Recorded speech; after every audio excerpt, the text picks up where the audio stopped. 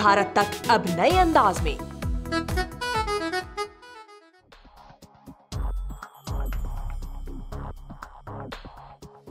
नमस्कार, जय हिंद। नए रंग रूप में भारत तक को देख रहे हैं आप। आपको नया भारत तक कैसा लग रहा है? मैं कमेंट करके बताइए।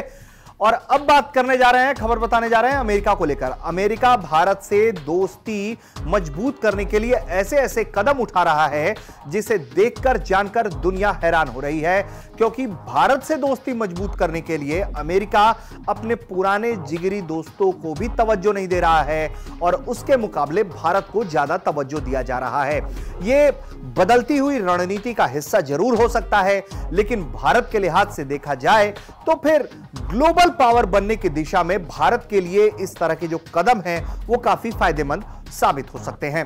तो अमेरिका ने क्या किया है ऐसा जिसकी चर्चाएँ हो रही हैं दुनिया में, इसकी जानकारी इस वीडियो में हम आपको देने जा रहे हैं। अमेरिकी राष्ट्रपति जो बाइडेन ने एक खास वर्चुअल कॉन्फ्रेंस के लिए दरअसल 110 देशों की लिस्ट में भारत को शामिल किया है। अब आप कहेंगे कि भाई 110 देश तो काफ़ी होते हैं, उसमें भारत का नाम आ गया तो क्या हो गया? तो अब इसको जरा आगे जब आप खबर को जानिएगा, तब आप हैरान रहिएगा। जो बाइडेन ने इन सभी देशों को लोकतंत्र के विषय पर एक वर्चुअल सम्मेलन के लिए इन्वाइट किया है। इस सम्मेलन के लिए कई पश्चिमी देशों के अलावा इराक, भारत, पाकिस्तान जैसे देशों को न्योता भेजा गया है।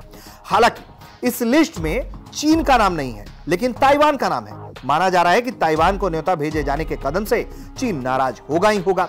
इसके अलावा इस लिस्ट में बांग्लादेश, रूस, तुर्की और श्रीलंका का नाम तक शामिल नहीं है। अमेरिका की स्टेट डिपार्टमेंट की वेबसाइट में इस लिस्ट को पोस्ट किया गया। यह सम्मेलन 9 और 10 दिसंबर को शेड्यूल किया गया है। इस ऑनलाइन कॉन्फ्रेंस में कुछ चौंकाने वाले फैसले भी लिए गए। मसलन अमेरिका ने अपने पारंपरिक दोस्तों, जैसे मिस्र, सऊदी अरब, जॉर्डन, कतर और यूएई को इस सम्मेलन के लिए आमंत्रण ही नहीं भेजा। मिडिल ईस्ट के देशों की बात की जाए तो इस लिस्ट में केवल और केवल इसराइल और इराक का नाम ही शामिल है। इसके अलावा बाइडन ने ब्राज़ील को न्योता भेजा है। यूरोप में पोलैंड को अमेरिका का न्योता भेजा गया है।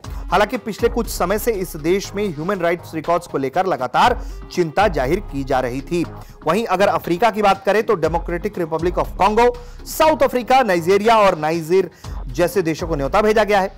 अगस्त में शिखर सम्मेलन की जब घोषणा हुई थी, तब व्हाइट हाउस ने यह जानकारी दी थी कि सम्मेलन जो होने वाला है, उसमें तीन विषय काफ़ी प्रमुख हैं और इसमें जो है वो अधिनायकवाद के खिलाफ आवाज़ उठाना, भ्रष्टाचार से लड़ना और मानवाधिकारों के सम्मान को बढ़ावा देने जैसे विषयों पर चर्चा की जाने की बात कही गई है।